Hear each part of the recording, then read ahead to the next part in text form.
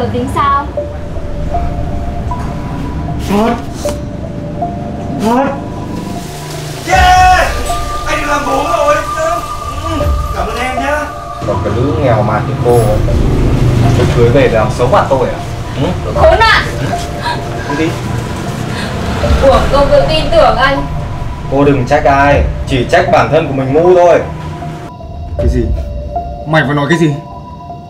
Con trai Con trai của tao. Con trai của tao làm sao? Mày trả lại con cho tao. Nhanh! Anh buông anh ấy ra. Anh không có quyền đụng vào anh ấy. Tại sao chúng mày nuôi con của tao? Chúng mày không có quyền.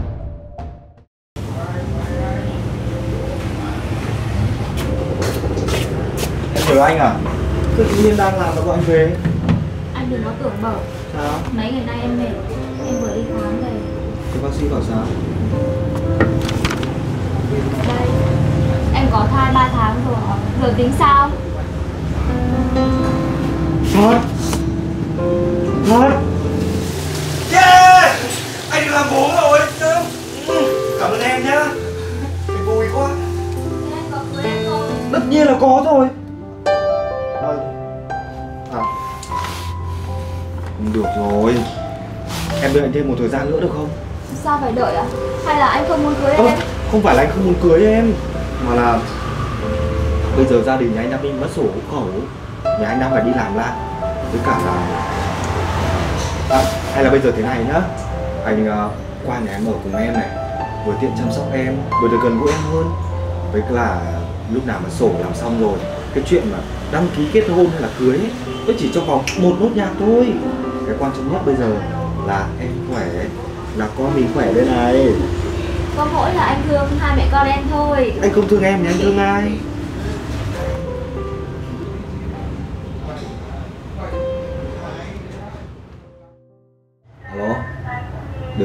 vợ yên tâm. Kế hoạch của anh vẫn đi đúng đường. Đâu vẫn vào đấy cả. Tình hình cô ta và đứa con như thế nào rồi? Mẹ vẫn khỏe, con vẫn khỏe. Với cả con lại là con trai.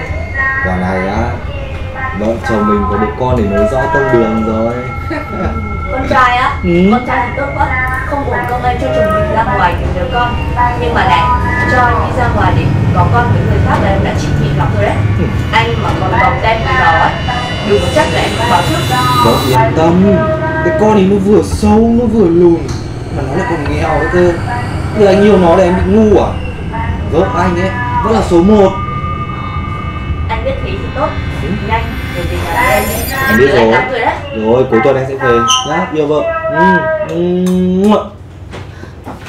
Khốn nạn Sao anh có thể lừa dối tôi một cách trắng trợn đến như thế Em đang nói cái gì thế? Anh còn vờ kỳ diễn đến bao giờ nữa? Anh và vợ anh bàn tới kế hoạch gì? Các người không phải là con người! Thôi được rồi. Nếu như cô đã nghe thấy hết rồi ấy, thì tôi cũng nói thẳng luôn. Tôi chỉ lợi dụng cô để kiếm được con thôi. Còn cái lũ nghèo mà như cô Tôi cưới về để làm xấu mặt tôi à? Ừ? Khốn nạn! Đi đi. Của công tự tin tưởng anh Cô đừng trách ai Chỉ trách bản thân của mình ngu thôi. Học không lo học Suốt ngày chỉ nhằm nhằm dễ dãi lên giường của mấy thằng đàn ông. Này Biết điều ấy Thì chăm sóc cái hai tôi thật tốt vào Con tôi mà có mệnh hệ gì ấy Đừng có trách. Đây là con của tôi. Anh đừng hỏng có mang đi. Cái gì? Tôi bảo đây là con của cô á. Con của cô Cái loại một nghìn không dính túi như cô Lấy tiền đâu mà nuôi con Hả? À Hay là Lại định dễ dãi lên giường với mấy thằng đàn ông để kiếm tiền nuôi con à? Hả? Anh đừng có mà xúc phạm tôi. Xúc phạm? Cô còn có nhân cách để tôi xúc phạm à? Này Để tôi nói lại cho cô một lần nữa. Nó là con của tôi. Tôi sẽ chăm sóc cô cho đến ngày cái thai được ra đời. Biết điều ấy. Câm mồm lại.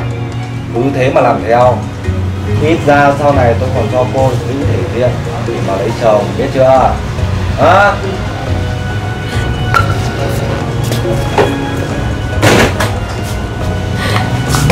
Mở cửa ra! Anh Mở cửa ra! Mở cửa ra!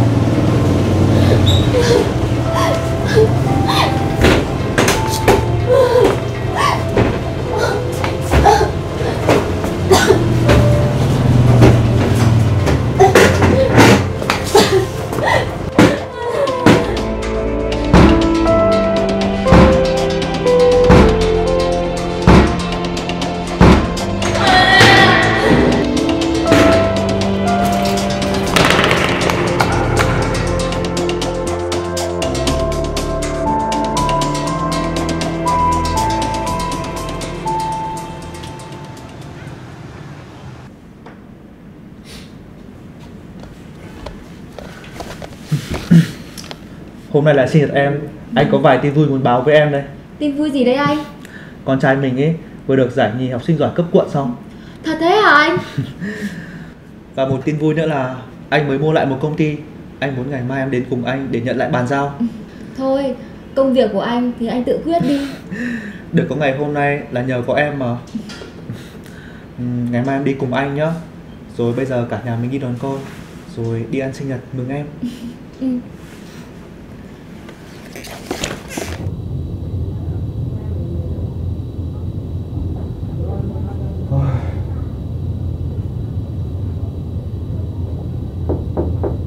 Mời vào. Thưa anh có anh Hiếu đến nhận bàn giao công ty ạ. Mời anh ấy vào. Vâng ạ. Dạ chào anh ạ. Chào anh. Mời ngồi ạ. Công ty cũng đẹp quá nhở Dạ vâng ạ. Tôi đã chuyển khoản số tiền đặt cọc. Bây giờ anh bàn giao lại nốt giấy tờ cho tôi. Xong việc tôi chuyển nốt số tiền còn lại cho anh. Dạ vâng ạ. Từ bây giờ công ty là của anh ạ Nó không phải là của tôi Mà là của vợ tôi Em vào đi Cô Anh vẫn còn nhận ra tôi cơ à? Giới thiệu với anh Đây là Phương Vợ của tôi Từ bây giờ công ty này sẽ là của cô ấy Vợ á? Anh muốn nói cái gì? Anh bảo cô ta là vợ của anh à? Này, thế anh có biết quá khứ của cô ta không? cô ta lấy anh chỉ để đào mỏ thôi. Cái loại phụ nữ lên giường với trăm thằng đàn ông chỉ để đổi đời ấy. Mà tôi cũng không hiểu tại sao đến giờ phút này mà cô vẫn còn làm những cái trò đốn mặt như thế đấy. Anh ăn nói cho cẩn thận vào.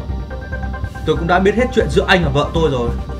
Nên hôm nay tôi đưa cô đến đây Là để nhìn thấy anh Phải trả giá những điều khốn nạn anh đã từng làm. Anh không xứng đáng làm thằng đàn ông. Chúng mày! Nghe nói là vợ chồng anh Đến tận bây giờ vẫn chưa có con Lại làm ăn bất chính. Thế nên công ty phá sản. Đúng là quả báo. Nhưng thôi tôi cũng chả tính toán với anh làm gì nữa. Dù sao Cũng cảm ơn vợ chồng anh Để tôi có hạnh phúc như ngày hôm nay. Với tư cách là một thằng đàn ông Tôi xin thông báo anh một tin Cho anh đỡ phải ân hận. Con trai của anh vẫn đang khỏe mạnh. Nó rất ngoan Và có hiếu với chúng tôi. Cái gì? Mày vừa nói cái gì? Con trai Con trai của tao. Con trai của tao làm sao? Mày trả lại con cho tao. Nhanh Anh. Buông anh ấy ra. Anh không có quyền đụng vào anh ấy. Tại sao chúng mày nuôi con của tao? Chúng mày không có quyền. Anh ấy mới là bố hợp pháp của thằng bé. Là người khai sinh tên cho nó. Nó mang họ của anh ấy. Con trai của tao. Con trai của tao. Phương Anh xin em Cho anh một cơ hội. Chúng mình cùng làm lại từ đầu được không em Anh muốn chăm sóc em. Anh muốn nuôi con. Anh xin em đấy. Hãy... Anh đúng là cái thằng khốn nạn. Anh không có tư cách là bố của nó. Nó chỉ có một người bố duy nhất Chính là chồng của tôi. Tôi sẽ không để cho anh yên. Nếu anh đụng vào gia đình của tôi Đi thôi anh. Kìa em Em!